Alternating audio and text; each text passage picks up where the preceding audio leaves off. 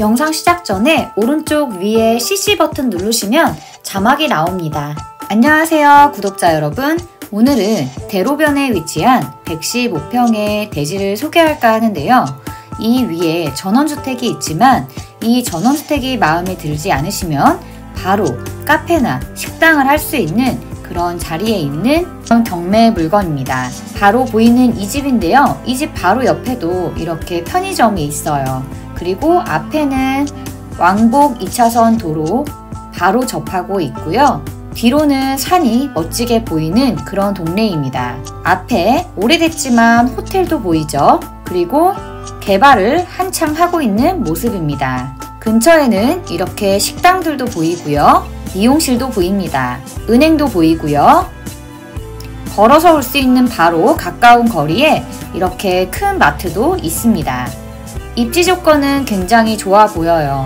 그리고 기차역과도 굉장히 가까운 거리에 있습니다. 집의 정면 모습은 이렇게 되어 있고요. 1층 단층이에요. 집 앞에 이렇게 창고가 있고요. 제시회 건물이고요. 잔디가 예쁘게 관리되어진 그런 마당은 아닙니다. 그냥 흙과 자갈들이 한꺼번에 뒤섞여져 있는 그런 관리가 좀 안 된 마당의 모습이고요. 길에 이렇게 벽돌들이 좀 쌓여져 있어요. 주변에 공장은 없는데요. 건축물을 보관하는 그리고 건축 사무소들이 많이 있는 것으로 보여집니다.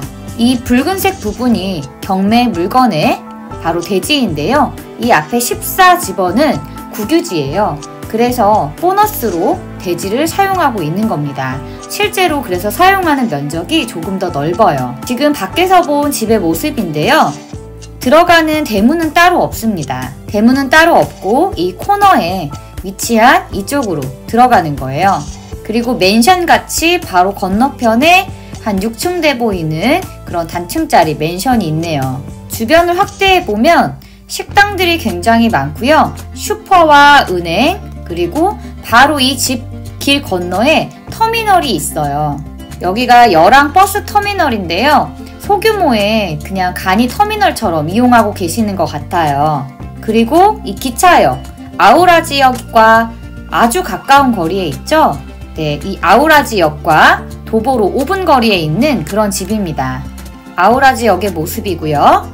이 아우라 지역 앞에는 열양장이라고 해서 시장이 열려요. 그래서 시장과 슈퍼 모두 이용할 수 있는 최적의 그런 입지 조건입니다. 왼쪽에 보시면 행정복지센터도 근처에 있어요.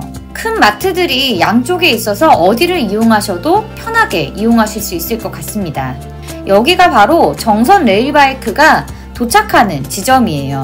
경매 정보 보도록 하겠습니다. 2021 타경 1221 춘천지방법원 영월 1기에서 진행이 되고요. 매각기일은 2022년 11월 8일 화요일 오전 10시입니다.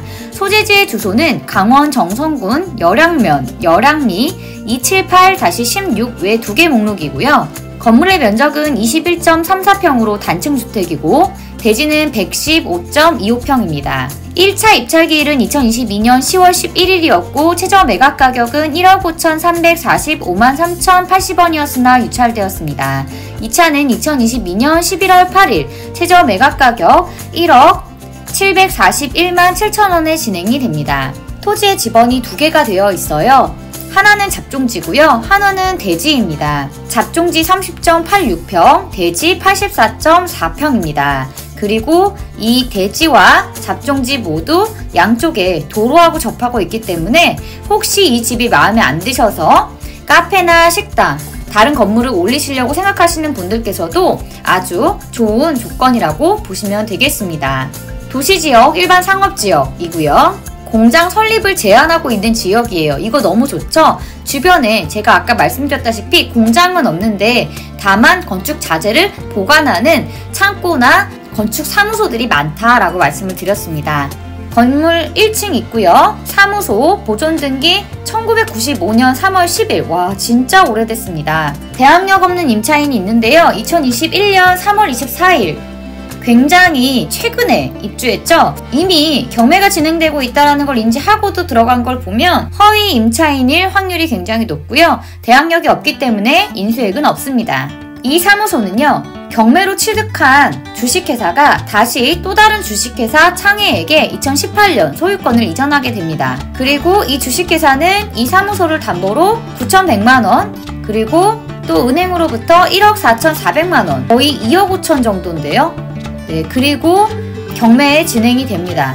그리고 차례로 보증보험으로부터 가압류가 들어오게 되죠. 금액이 굉장히 커요. 8억 9천. 와, 절대 취하될 확률은 없어 보이네요. 어쨌든 낙찰자가 인수해야 될 권리는 없습니다. 그러면 이 가격이 적절한 것인가 한번 보도록 하겠습니다. 이 파란색 부분이 경매로 나온 대지와 잡종지인데요. 이 앞에 있는 부분이 군유지로서 어, 보너스 토지라고 보시면 돼요. 그래서 38평을 보너스로 활용하고 있는 겁니다. 바로 옆에 편의점 있었죠? 이 편의점 뒤쪽으로 있는 대지 한번 보도록 할게요. 2022년 6월 정말 최근에 거래가 됐거든요. 거래 가격은 1억 3천만 원이었습니다. 대지는 153평이었고요. 평당 84만 9천 원, 거의 85만 원에 거래가 됐네요. 또 다른 일반 상업지역 2022년 3월에 거래된 가격입니다. 9,900만 원에 거래가 됐고요. 35평이었네요. 평당 282만원. 와, 어마어마한 평당가를 보여주고 있습니다. 근데 여기 보시면 훨씬 더 많은 식당과 슈퍼들이 모여 있어서 조금 더 상권이 좋았던 것 같아요. 길 건너는요, 18년도에 거래가 되었는데 대지 10평에 5천만원에 거래가 되었어요. 평당 500만원인데요.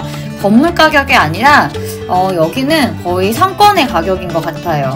그 옆에는 65평에 6천만 원에 거래가 되었어요. 거의 여기도 평당가가 100만 원 남짓이네요.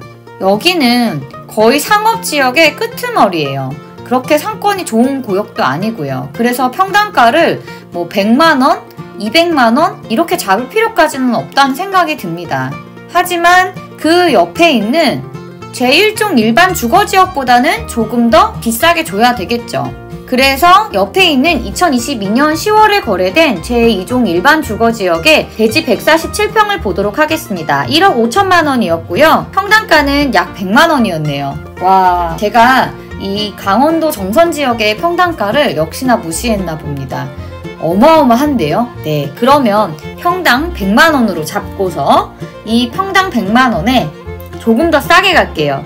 70%로 계산하겠습니다. 그러면 70만 원이죠. 그렇다면 본 대지는 115.25평이기 때문에 약 8천만 원 정도가 되겠네요. 그리고 위에 있는 주택이라든지 제시회 건물은 거의 돈을 치면 안 될 것 같아요. 그냥 전기랑 수도가 이미 되어 있다? 그 정도만 보너스로 가져가셔야 될 것 같습니다. 그러면 한 500만 원만 치면 8,500만 원 정도가 경매로서는 적절한 거고요. 실제로는 평당 100만 원에 115평 계산하면 시세로는 1억 1천만 원 정도 되는 가격이에요. 따라서 지금 현재가 시세 가격이라는 생각이 들거든요. 시세보다 살짝 싼 거죠. 어쩌면 이번에는 단독 낙찰이 되거나 혹은 한 번 더 유찰되었다가 9천만 원대에 낙찰이 될 수도 있겠네요. 여기가 아우라지 근처에요. 이 열한고등학교 있고요. 주변을 조금 더 확대해 보면 네, 신비의 얼음골, 향골 계곡 예전에 한번 소개했던 지역이기도 합니다. 그래서 이 주변을 보시면 강릉, 동해, 평창 이런 쪽에서도 올라오실 수 있을 것 같은데요. 굳이 여기까지 오실 필요가 있나 라는 생각이 들어요. 이 근처 정선에 사시는 분들께서 상가 자리를 보고 계신다 혹은 조용하게 살기를 원한다 라고 하시면 보시면 좋을 것 같다라는 생각이 드네요. 오늘 영상은 여기까지고요. 화면 아래에 구독 버튼과 좋아요 버튼, 알람 설정까지 부탁드립니다. 양옆에 동영상 클릭하시면 더 많은 정보 보실 수 있습니다. 감사합니다.